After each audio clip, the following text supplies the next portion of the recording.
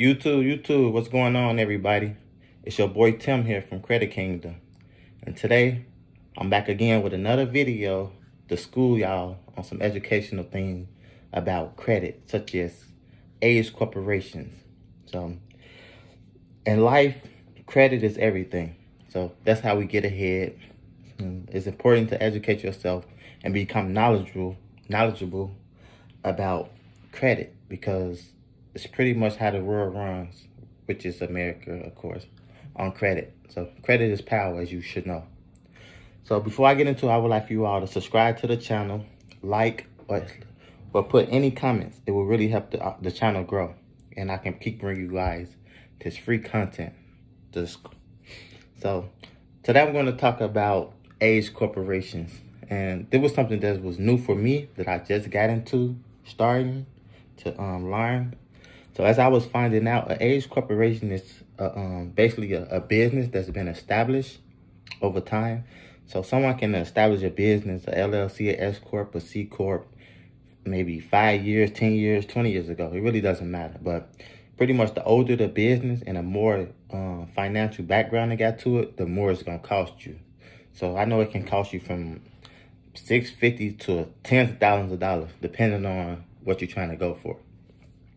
So it's just like um, a man or someone can be in be in a coma for ten years.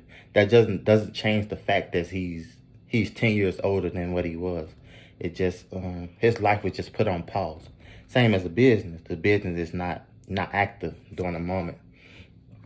So as I was finding out, um, it's important to know when you buying a, a age corporation. Don't go in there blindly just oh, I'm finna buy this age corporation and I'm finna make hundreds of thousands of dollars. It doesn't work like that. It's a certain way you have to buy it and go for it before jumping into the water and not knowing how to swim because you could lose and get screwed over in this credit credit stuff because everything is about business making money so as i want y'all to know that when you is looking for it if you at the point where you want to get an age corporation make sure it already has the, the companies look legitimate.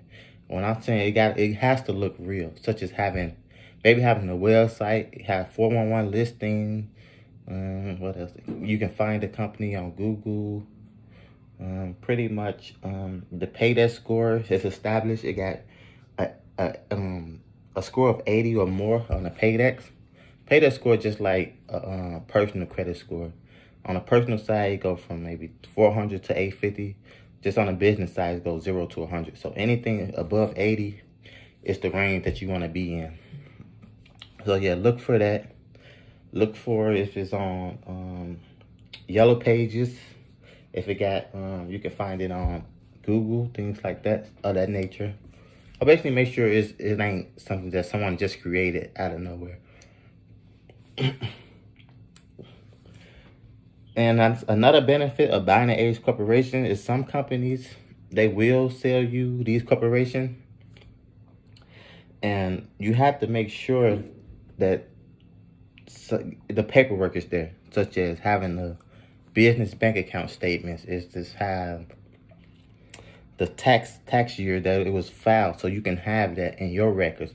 So once you take over the age corporation, and add it. You can either add it to to another thing you can do is also if you can create an LLC. Another thing people doing they adding it to their own LLC bid. So they buy Age Corporation for like five years old, then they go attach it to their own um, LLC. So it makes it seem like they LLC is five years old, and this is how you get ahead in this um, credit credit game stuff.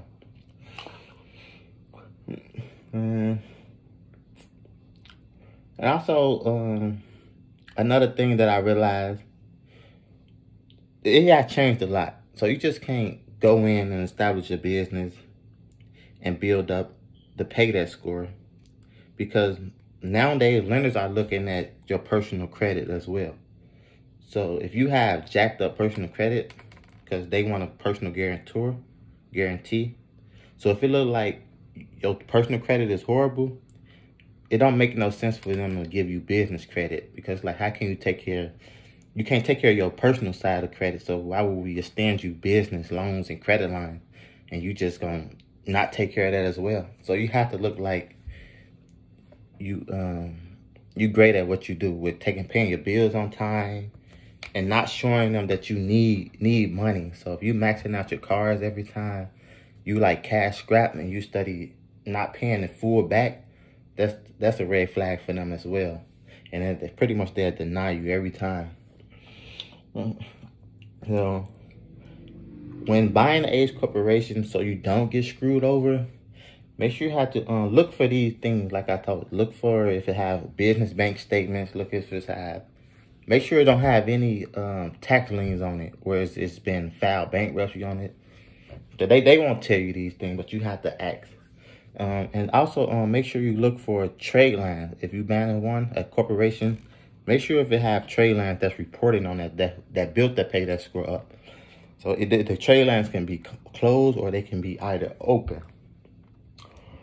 And um, what else? The uh, also another thing that'll pretty much get you the how your corporation destroyed completely is um, somehow it's a way that you have to switch over and put your business name um, and make it attached to the um, corporation. Because if you just add add a new member or they call them officers or managers onto an older age corporation, then they may seem like, oh, it's some fishy going on. So they're pretty much reset your whole entire um, business structure, such as giving you a, a zero Paydex score and pretty much shutting down your whole credit profile because there's a new owner that's being reported on that. So I'm gonna uh, research that as well, see how you can avoid that from happening. Um, what else? Um, yeah, that was pretty much. Um, and the reason why people build these age corporations so they can pretty much flip later on in life.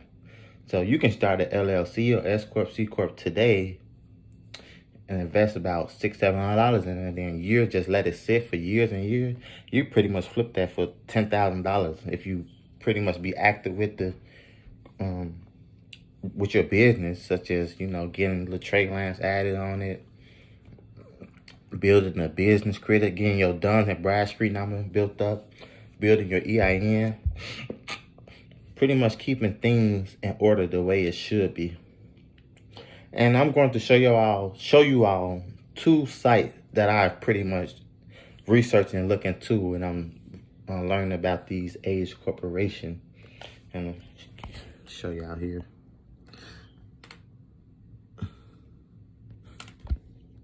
Mm. I don't know if you can see this or not. But yeah, this is called Wholesale Shelf Corp Corporation. And it's also another one that's called Wyoming Company.